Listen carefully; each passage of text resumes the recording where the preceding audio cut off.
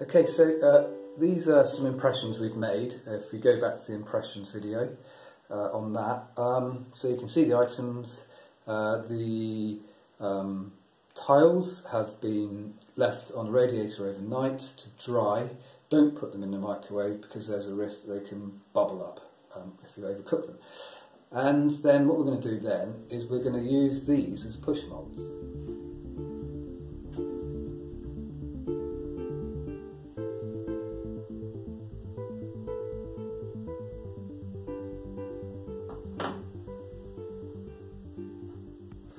Now, there is a nice relief from that push mould. You might find the dough tends to stick to the um, push mould. If it does, it's probably a little bit too moist, so a tiny bit of flour and re-knead it, and that should, should do.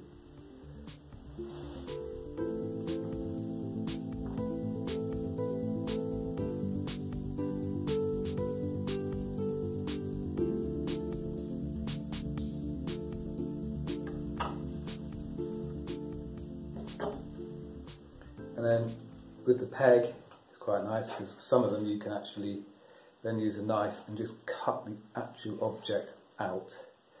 So you've got a reproduction of the, for this instance, a clothes peg.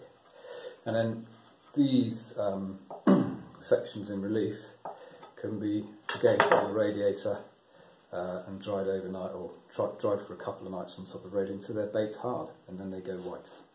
So going back to the episode on sculpting, uh, earlier we made some brushes, so it's something you can think about. Uh, we used um, embedded materials into the end for the bristles, so uh, there is the plastic from cut up milk bottles, uh, and then we have this one, which is cocktail sticks. They've also, there is a bit of impressing into the dough as well, um, just to make them more interesting, really.